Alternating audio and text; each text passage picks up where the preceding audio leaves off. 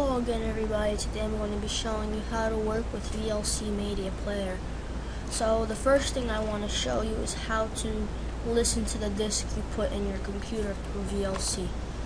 So many of you will think that we have to go on open disk and here's our audio CD and and it's going to start playing.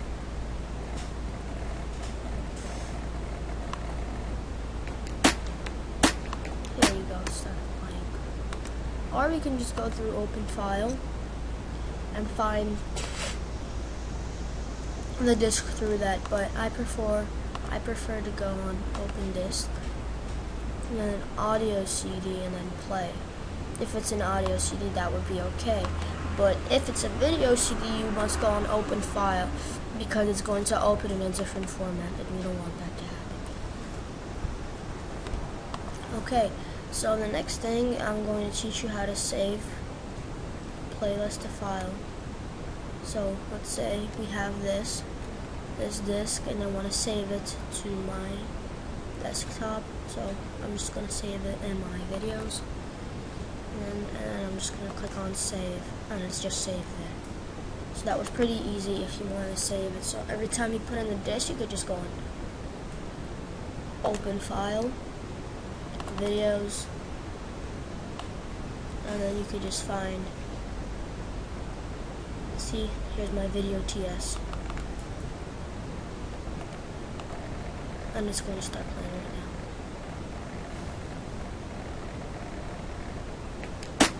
now. See? That was pretty easy. So there's two ways you can open on this, just like that. And the next thing I will be showing you is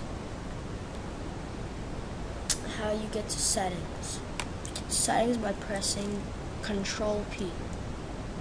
And here you go, your settings.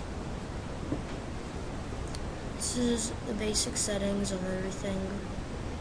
And here's the audio settings.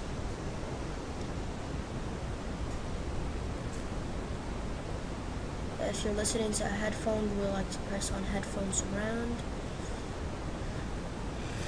And you could just toggle between the settings for audio for listening to a disc. This is for video. Um, this is for subtitles, for inputs and codecs. So, and these are hotkeys. You can you can put them on yourself. That's one thing. Also, if you're listening to some something and you don't know what this one does, you just put your mouse next to it, and it's always going to tell you what it does. See random, show playlist, show extended settings, toggle the video to full screen, next media, see, move from one continuously, see, uh, frame by frame. So, you just don't know what a thing does, just just near your mouse near it and just wait until it tells you what it does. It does not work for everything, it only works for some stuff.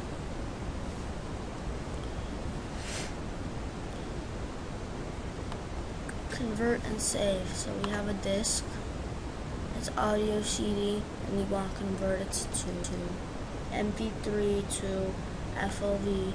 So let's see. We just click on convert and save.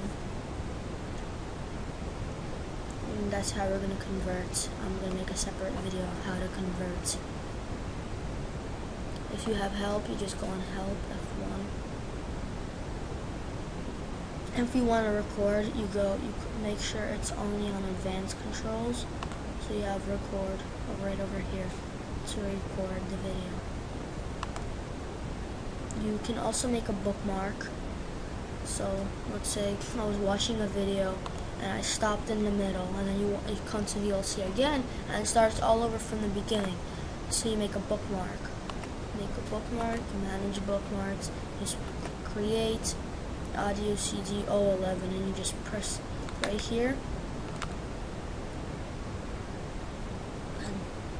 and then you're just gonna type in the second where you want the bookmark to be. So let's say I left on 11, and that's it. that's going, and the next time I put in the disk, it's gonna start on 11. That's how you make a bookmark. You can always just increase the volume, real easy. So basically that's how you work with VLC Media Player. It's uh, if you do not have VLC Media Player, go on Google.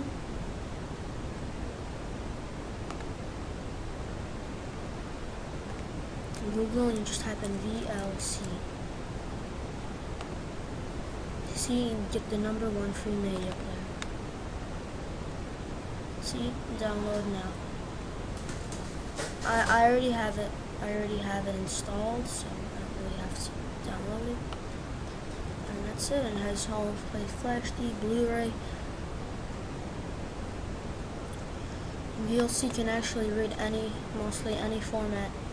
It's a really good media player. Okay? Please like my video if you liked it. Thank you for watching. Bye.